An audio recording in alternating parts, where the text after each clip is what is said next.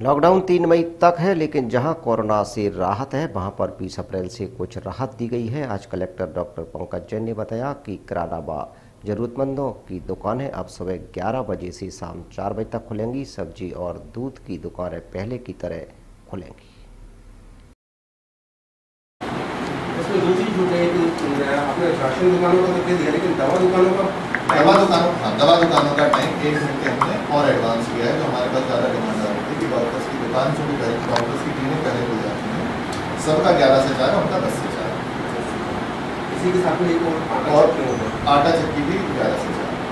Sir ज़िले में बड़ी समस्या देखी जा रही है दिहाड़ी मजदूरी जैसे अभी शिवसुरंग में एक मामला आया था दिहाड़ी मजदूरों को एक जगह बसा दिया गया था और उनका राशन ये अ, ये समस्याएँ मीडिया के माध्यम से एक आ रही हैं कई जगह राशन की और इसको हम अपना पूरा प्रयास कर रहे हैं लेकिन कहीं यदि इस तरह की शिकायत आती है तो उसको हम तत्काल डील कर रहे हैं। और 104 नंबर हमारा है उस पर जैसे ही बताते हैं क्योंकि बात सही है कि कई जगह से शिकायत आती है कि साहब यहाँ नहीं पहुँच पाए या एक दो जगह कभी यदि मान लीजिए प्रशासन से छूट जाती है तो जैसे ही सूचना आती है, उसको हम कर रहे हैं। सर तो इतने दिनों से नहीं मिला मलेरिया का इंसिडेंट जब हमने जाके S D M S W spot पे भेजा तो चला कि एक क्विंटल गेहूँ के पहले दे दिया गया था, और भी सुविधाएँ थी। उन्होंने जाने की अनुमति मांगी जैसे आप जानते जाने की अनुमति देना भी संभव नहीं वो ना देने के कारण उन्हें शिकायत की, जिससे थोड़ा सा ध्यान इस तरह से आया तो ठीक है, हम उनकी मजबूरी समझ रहे हैं और ये भी हम गारंटी दे रहे हैं कि यदि कोई ऐसी चीज़ आती है तो तत्काल हम दिखवाएँगे। लेकिन फिर भी एक मेचोरिटी से उसको देखा जाए और जिला प्रशासन और पुलिस भी अपने एक्सटेंड तक प्रयास इसमें कर रही है। सर ने जो बताया, उसके अतिरिक्त बस दो तीन चीज़ें जोड़ना चाहूँगा। धार्मिक स्थलों में सख्ती रहेगी और पब्लिक का कोऑपरेशन एक्सपेक्टेड है। ये सेंसिटिव मामला है, भावनाओं से जुड़ा मामला है।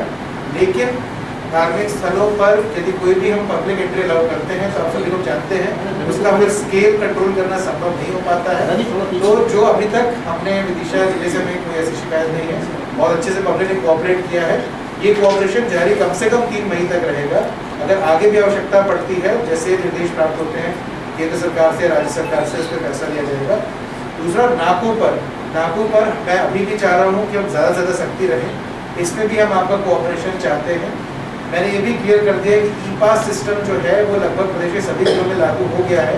लेकिन ई पास प्रस्तुत करने के बाद भी एक बार नाका चर्चा करेगा वरिष्ठ अधिकारी से और उसका स्क्रीनिंग व्रीनिंग करने के बाद ही उसका अलाउ करेगा। इसमें ये बात का ध्यान रहे कि सबसे पहले तो हम बहुत सख्ती रख रहे हैं कि ई पास और स्पेशल केसेस में ही दे रहे हैं। और ज़िले भी इसका पालन करें, ऐसी हमारी उम्मीद है। लेकिन यदि इस कारण डिले होता है नाके पर या किसी कारण समय ज़्यादा लगता है तो ये अच्छी चीज़ है, इसका मतलब स्क्रीनिंग अच्छे से हो रही है। तो इसमें भी आपका कोऑपरेशन रहे। अपने स्तर पर जितना आप डिस्करेज कर सके ज़िले के बाहर का मूवमेंट अनफॉर्चुनेटली कुछ अन्य ज़िले हैं, मध्य प्रदेश के आप जानते ही हैं, कुछ हमारे पड़ोस में भी हैं। या तो नए नए कोरोना के केस आए हैं यहाँ पे कोरोना केस की तादाद काफ़ी अधिक है। तो अगर हम विदिशा में कंट्रोल कर पाए, लेकिन हम इंटर डिस्ट्रिक्ट मूवमेंट पे पूरी छूट दे दें तो ये दिक्कत हमें आगे बढ़ सकती है। और जैसे कई अन्य राज्यों में हुआ है, चीन में भी हुआ है, कुछ एक महीने बाद दोबारा नए केस आए। तो ऐसी स्थिति हम विदिशा बिल्कुल नहीं चाहते, इसलिए नाके पे प्लीज़ कोऑपरेट विद अस हम सख्त रहेंगे, लेकिन आपकी मदद की हमें अपेक्षा रहेगी। और साथ ही साथ जो नॉर्मल जैसे सर ऑलरेडी बता चुके हैं माल वाहन का आना जाना, और ये कृषि का अपडाउन और ये हार्वेस्टर का मूवमेंट इस पे कोई रोक नहीं है। जो पहले था, वैसे ही वो चलता रहेगा। मैं एक व्यक्ति जो रोका गया था पूछताछ के लिए मेरे ख्याल से आई थे। उनको एक जो चौदह साल का लड़का था, उसने डंडा मारा था। और कार्रवाई की है, बता रहे हैं कि वो हो सकता है मानसिक रूप से पीड़ित हो। अगर ऐसी परिस्थिति है तो एक एक्सेप्शन होता है एपीसी में कार्रवाई के लिए। उसका फॉलो करेंगे, लेकिन डेफिनेटली हमने उस पर एफ़ भी की है और कार्रवाई उस पर जारी गुलाबगंज का कल का केस है दो वर्ष का बच्चा था करंट लगा था, लेकिन डॉक्टर वहाँ मौजूद नहीं था। ये कल की घटना है, लेकिन गुलाबगंज में डॉक्टर विभूति श्रीवास्तव द्वारा लगातार वहाँ अनुपस्थित रहने का एक शिकायत लगातार कल का जो प्रकरण मेरे सामने कल ही संज्ञान में आया। तत्काल जाँच के आदेश भी दे दिए और कल चूँकि डॉक्टर का ये कहना है कि मैं कि जो हमारी कोरोना से रिलेटेड ट्रेनिंग थी डॉक्टर का ही कहना है। कि मैं यदि नहीं भी थे तो नर्स को तत्काल उसको अटेंड करके रेफर करना।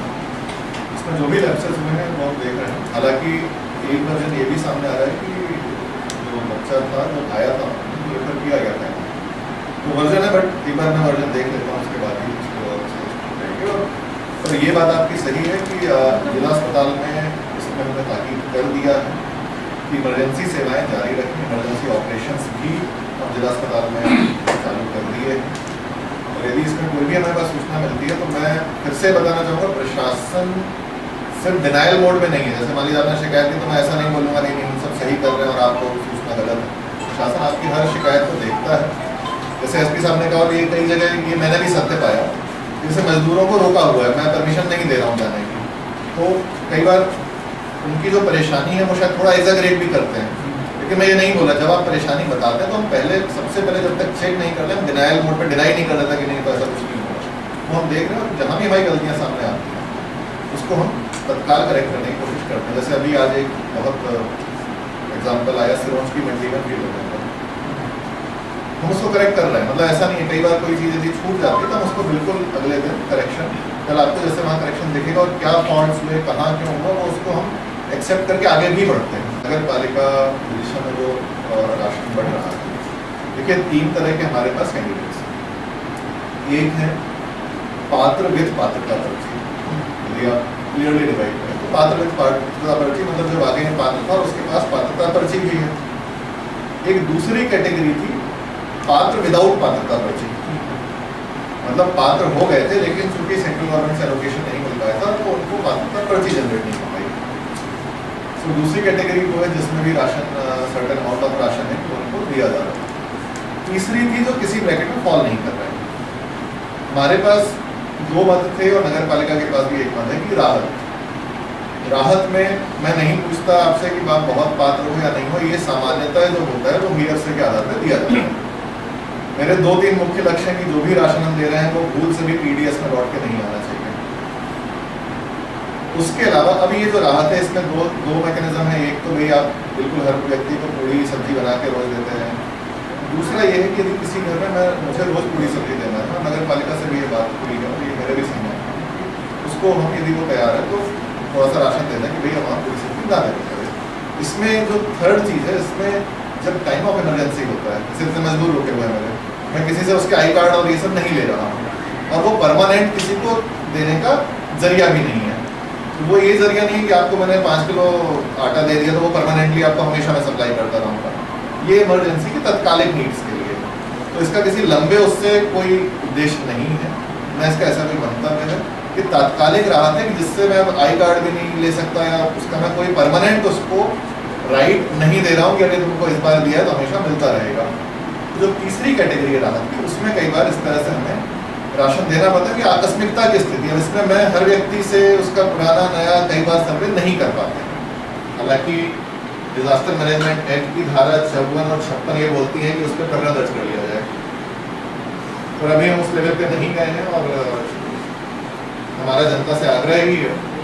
क्योंकि डीएम एक्ट की धाराएँ क्लियर बोलती हैं कि जिसने भी सामग्री होते हुए भी अननेसेसरी राहत मांगी है, गलत तथ्यों को प्रेजेंट करते हुए उस पर दो साल तक की कैद है। आज वो आपको व्हाट्सएप पे आप लोगों से भी शेयर कर देता हूँ, लेकिन हम नहीं चाहते कि ऐसे अनटूवर्ड स्थिति पैदा हो, क्योंकि अभी जनता को हम राहत पहुँचाना चाह रहे हैं और इस तरह के कुछ शरारती तत्व हैं हमारे संज्ञान में भी पर उससे अभी हमारा आग्रह है और आवश्यकता पड़ी तो हम कार्रवाई नहीं करेंगे। लेकिन बहुत जब हम इस स्केल पे राहत बांटते तो कई बार हर बंदे का वेरिफिकेशन कर पाना हमारे मुश्किल होता है। हमारी बाकी एफिशिएंसी कम होती है पर यदि मास लेवल में जब इस तरह की बहुत ही ब्लेटेंट शिकायत आएँगी तो कार्रवाई भी करेंगे। सर ज़िले में सर ज़िले में सभी दुकानों के लिए है या फिर जो पहले से लिस्ट में तैयार है किराना दुकानें सभी दुकानें किराना।